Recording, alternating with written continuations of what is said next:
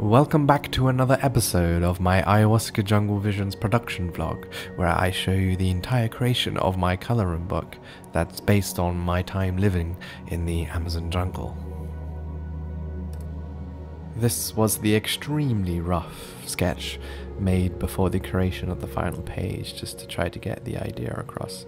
I'd be very surprised if anyone can decipher exactly what's going on in this rough sketch.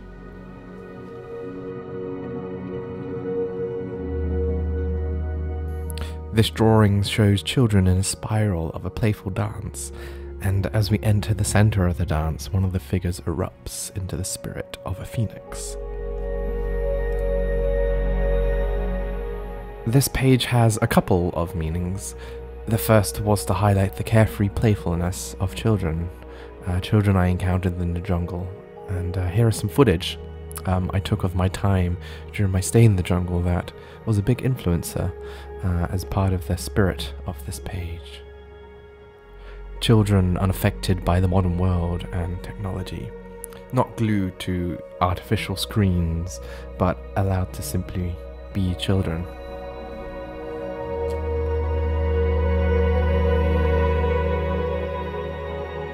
Another concept I wanted to show with this page was to highlight how we may lose the spirit of our own inner child countless times in our travels through life, but always be able to reignite that lost spirit.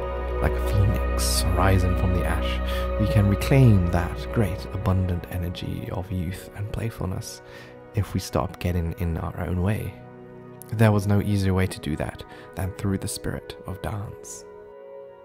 Ah, right here I'm using a special tool in Clip Studio Paint that utilizes symmetrical mirrors to easily create kaleidoscopic artwork, and I'll show you in a future video how to utilize this great tool. Let's see how easily it can create these kaleidoscopic patterns just by painting in a small segment and then it sort of mirrors and duplicates it around in this uh, spiral axis.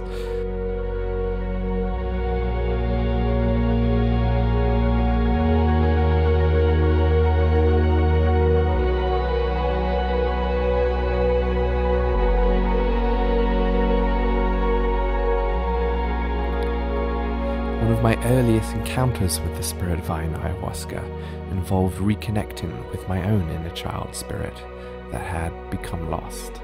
I didn't even know it had become lost until it was right there in front of me once more, pure, unadulterated, immortal, and unaffected by all, always there, waiting if necessary the spirit of our soul that is with us at the beginning, but gets hidden behind layers of ego and human experience.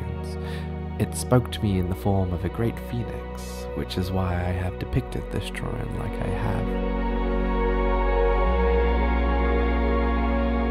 have. When all was said and done, this great phoenix spirit nestled into my heart, and I remembered sensations and feelings, experiences that I once knew when I was a small child.